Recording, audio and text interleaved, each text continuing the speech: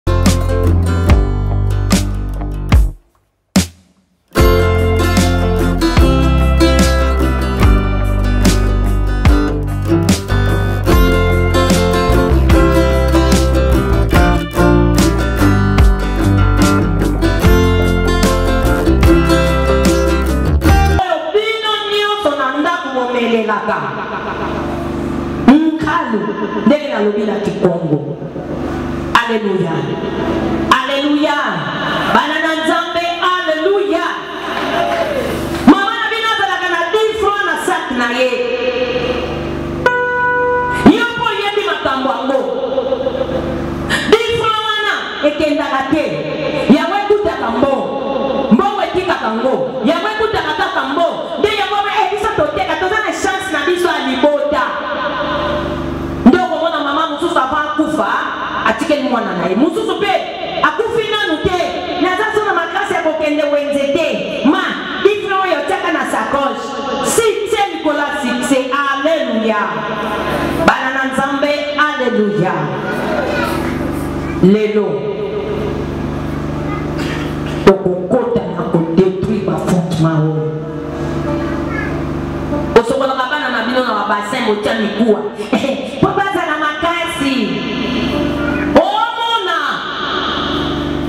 bozalaka na poso ya leopard botia na mur ya ndako na bino lititi oyo papa na bino atiaka na monoko mpo akende na mosala Yoko okokola wana, okobanda okende na lititi na lolemo. Makalo botumbaka na ndako, eza na bato mosusu batumbaka makalo na kati ya bandako na bango, basangisi na eloko moko oyo ebenganaka bademo. Aleluya, bana na Nzambe, aleluya. Realite oyo ozovivre wana, pozomona ngo na miso na yo.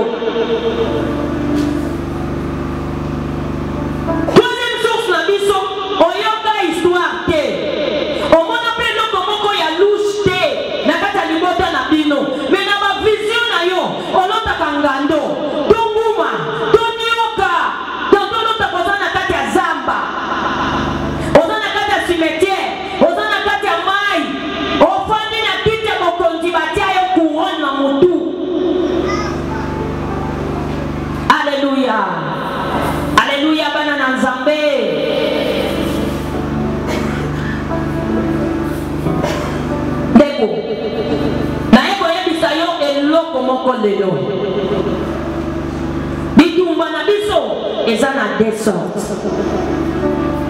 oyo eyaka na procuration toto moninga moko kaka lingako te abokeli yo mbasi oke osalisi yango obiki moninga moko kuta tato na lopango kofutelaka ye wana nde abundisaka yo momo na lobi lobi abimine na lopango yango bitumba esilaka te esili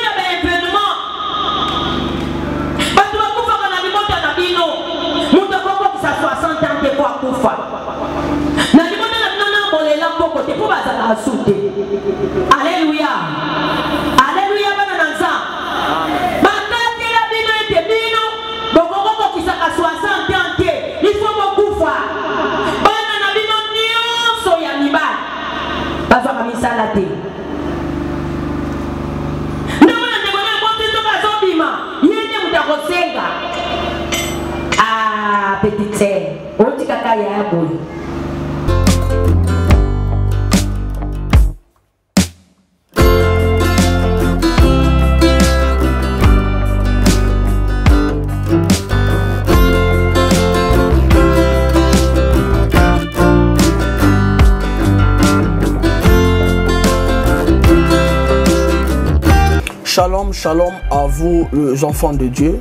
Na pesi bino mbote na kombo na Yesu. C'est bien moi votre frère, le pasteur Israël Nash, je vous salue au nom de Jésus. Je suis précisément à Kinshasa. Naza responsable ya Ophelina, Jésus est mon papa. Naye liboso na bino pona ko présenter bino bana oyo bozomona na bilili pe ba difficulté toza nango. Nabandaki mosala oyo ça fait longtemps ya kobokola bana selon ainsi dit l'Éternel. Mais ba difficulté eza mingi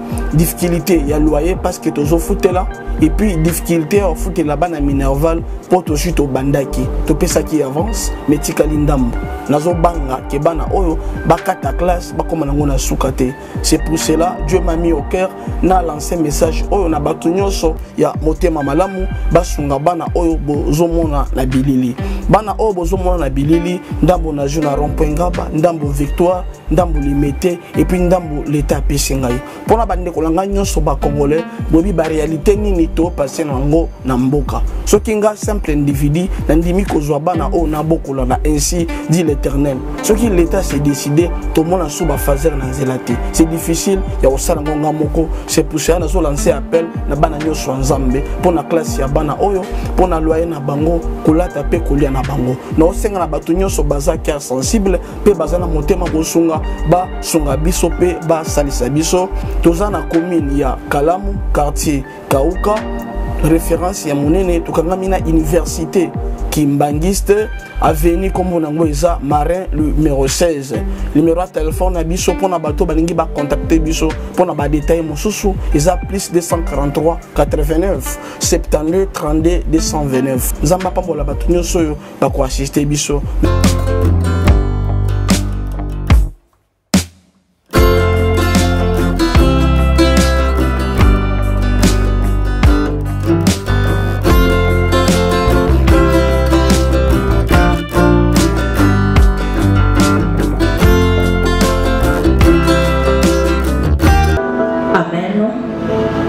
nkolo topamboli yo tolobi oza nzambe malamu mosusu lokola yo azali te tonetoli lisusu bonzambe na yo na moma oyo yaka kozala mokonzi ya ntango oyo molili azwa okazio ya konyoya biso te seigneur ngai nani mpo natelema liboso na peple na yo loba liloba moko milimo na biso ekobika ngai naloba te nazala instrument kaka oyo ozosalela na nkombo na yesu kristo nde tolobi amen pesa moninga aza na gauche na droite mbote loba nzambe apambola yo nzambe apambola yo nzambe apambola yo tala moninga aza pene na yo zala na esengo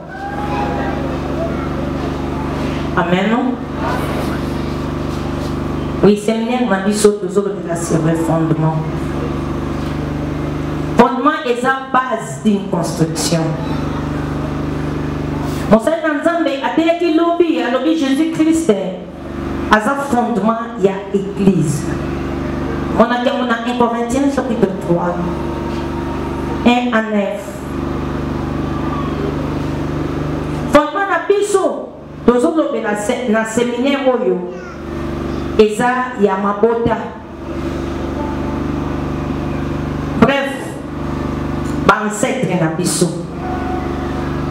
na si kuna na source esika biso towuta ndenge moko tolobi yesu aza fondement ya eglize ndenge moko bansetre na biso baza bafondement ya mabota na biso tozwaki yango na 3 ka fondement ya malamu ezosenga continuité yango wana mokambi lukangu alobelaki lobi na deuxième cas fondement ya mabe oyo ezosenga destruction yango esengeli ezala detruit mpo na kotonga mosusu bongo na troisième cas tolobelaki fondement oyo libo te eza nango malamu mais yo moko obandi kodetruire yango donc il faut orebâtir libota na yo ekota bonganga te yo obandi kokota bonganga me lelo nazolobela fondement oyo ya mabe wana oyo ezosenga destruction ozotanga na mokanda na 1 roi chapitre 15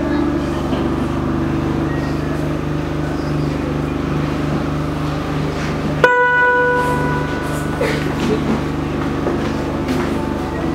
kobanda na 29 kino na 13 na atangi na nkombo na yesu la 20e année de jeroboam roi d'israël asa régna sur juda il régna 40 et un an à Jérusalem. Sa mère s'appelait Martha, fille d'Abisalon. Asa fait sa fille ce qui est droit aux yeux de l'Éternel comme David son père.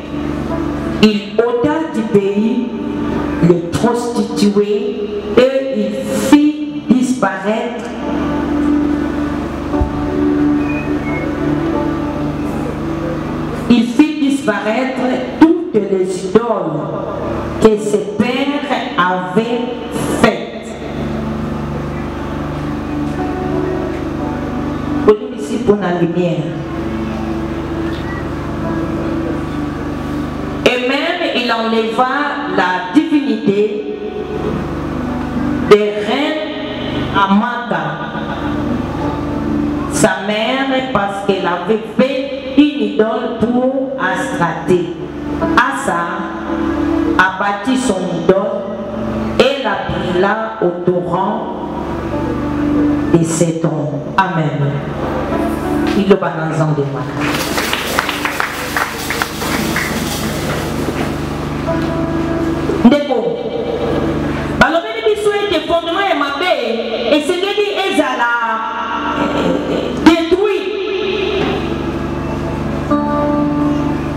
Mais lelo nazoloba na quatre sources ya information oyo mutu akoki kozwa na kati na libota na ye tanto na histoire ya mibale na réalité oyo ye azovivre na histoire koko na bino tanto ayiba soso ya bato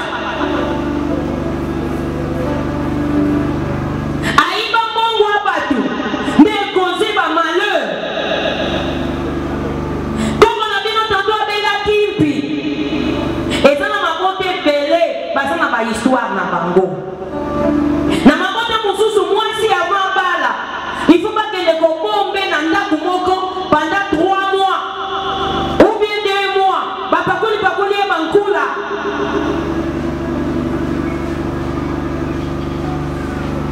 Na mabota mosusu,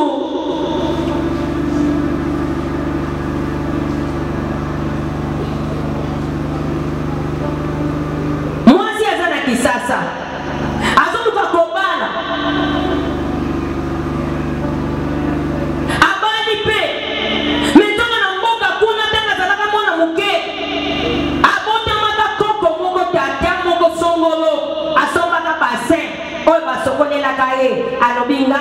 nakobalaka kaka mwana oyo nakozelaka ye ti akokola bino bokolisa ye yo oyebi te olongwa na ope bandundu oya kisasa ekomi obala wa oke ifo nanu kozonga na mboka ndeko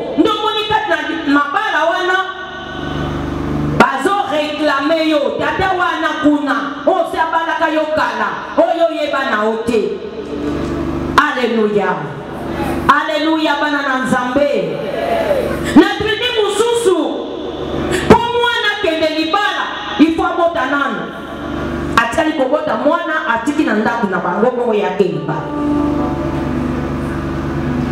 bango mosusu mwasi mpo abala ifo asangana nano na papa na ye wana epa ya bapigme aleluya bana na nzambe yo histoire ya libota na yo eza nini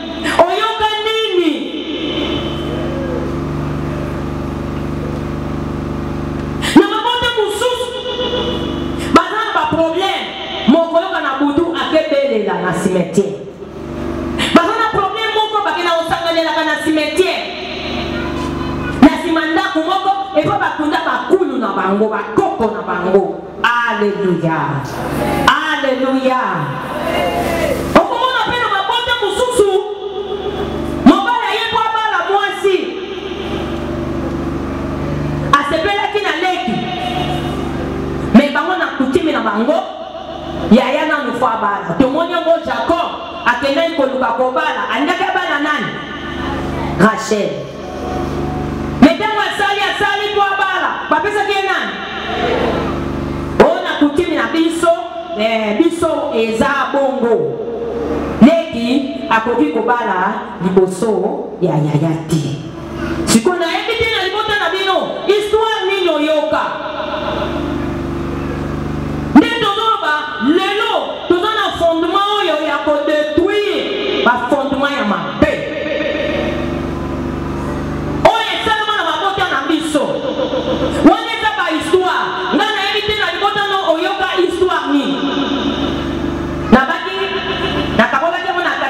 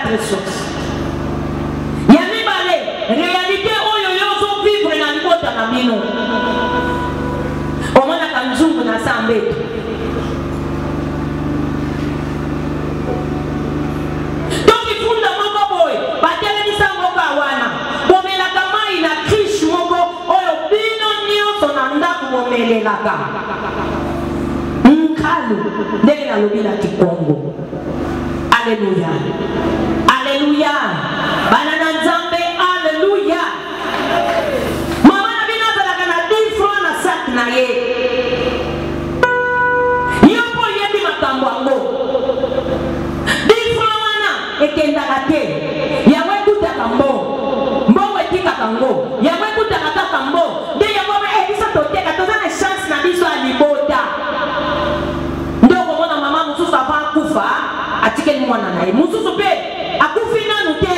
Naza so na makasi ya kokende wenze te. Ma, bifle oyo otiaka na sacoche. Succès likolo ya succès. Alléluia. Bana na Nzambe, Alléluia. Lelo tokokota na kodetruire bafondement oyo. Osokolaka bana na bino na babasin botia mikuwa.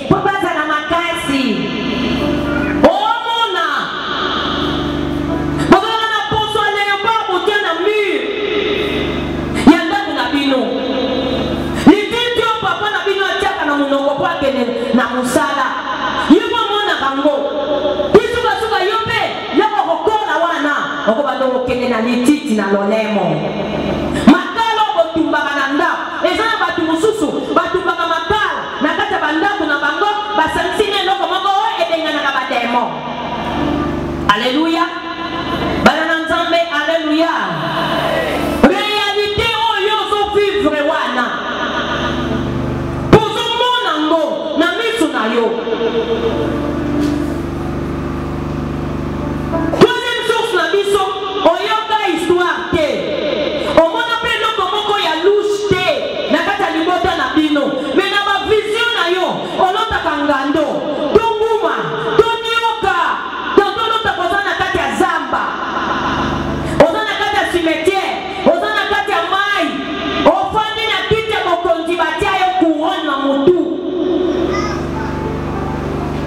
aleluya aleluya bana na nzambe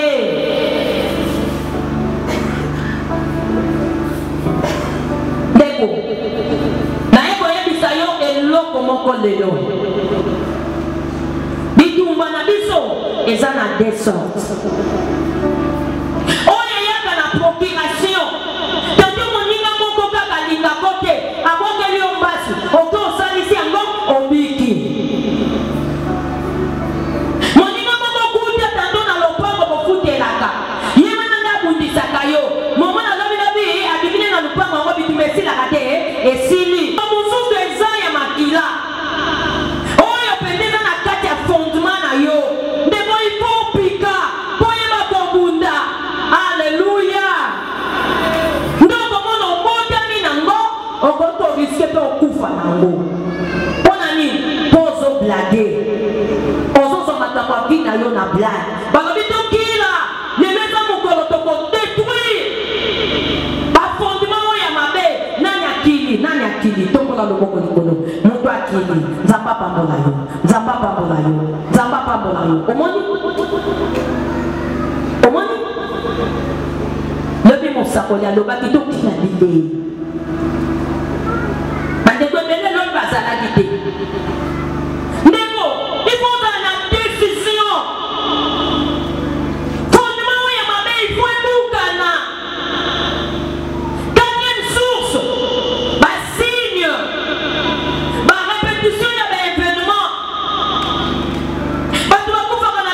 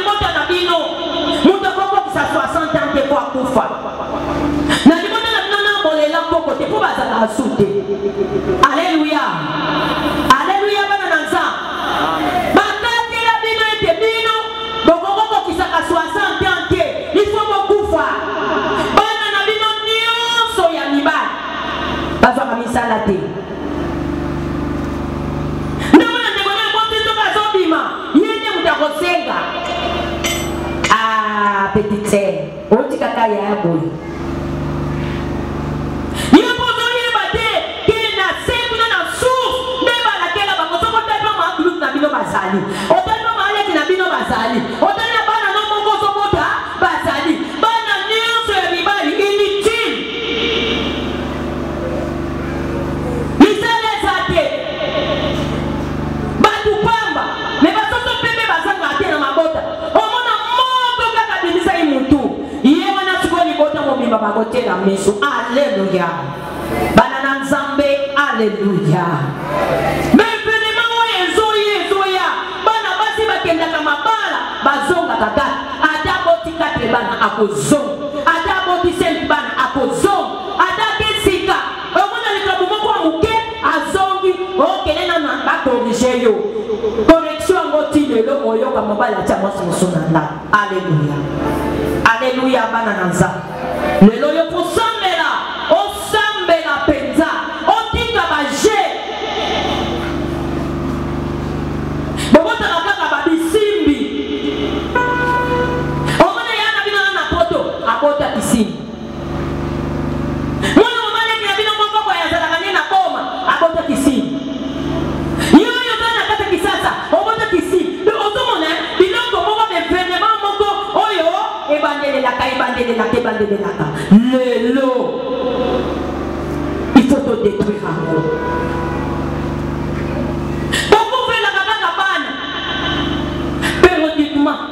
soki lelo kozalaki na makala lobi okozala na bumbu mwa wana kuna ekolanda kuna boke kisenzo mwa wana mosusu ekolanda boke ngaba bana na bino bakufaka kufaka kaka no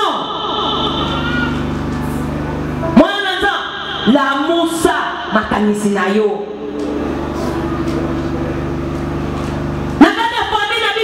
azwaka mbongo aza te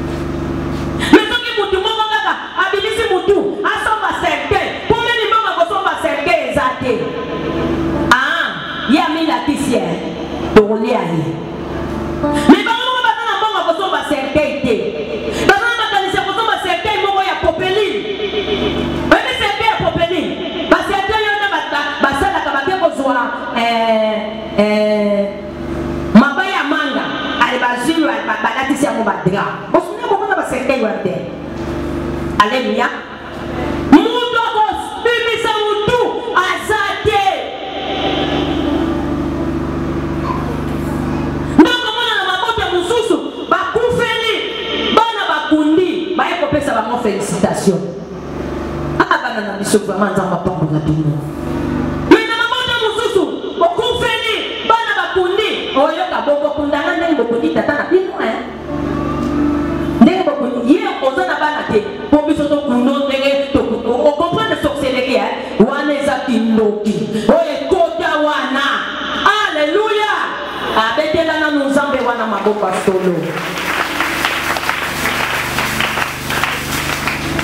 te tolamusaka pense na biso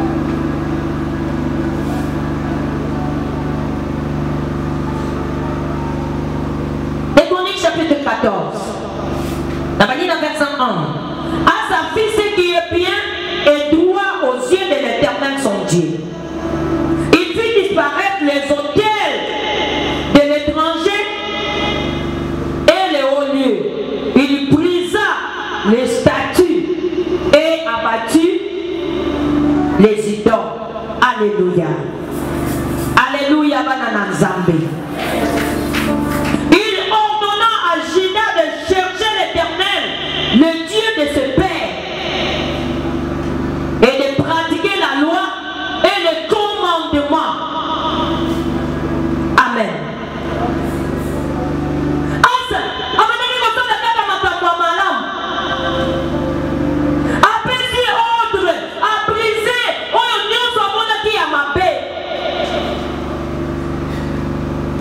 Azotinda libota na Juda balanda Nzambe. Baservir kaka Nzambe. Ndeko, naye koyebisa mwana na Nzambe moko azali awa.